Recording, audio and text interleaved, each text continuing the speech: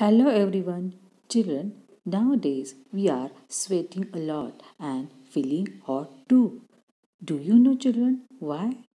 Because summer season has started. So, in today's session, teacher is going to talk about the summer season.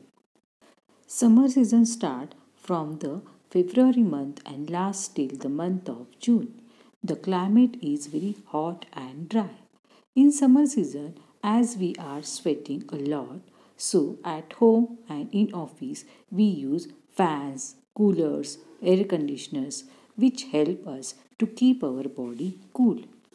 In summer season, as the sun rays are very hot, so to protect our body from the hot sun rays, we should use goggles, hat, caps or umbrellas and should apply sunscreen lotion and wear cotton clothes when we go out. In summer season, our body gets dehydrated. So, to keep our body hydrated, we drink watermelon juice, lemonade, sugarcane juice, coconut water, and sometimes ice cream also, which all of us like very much.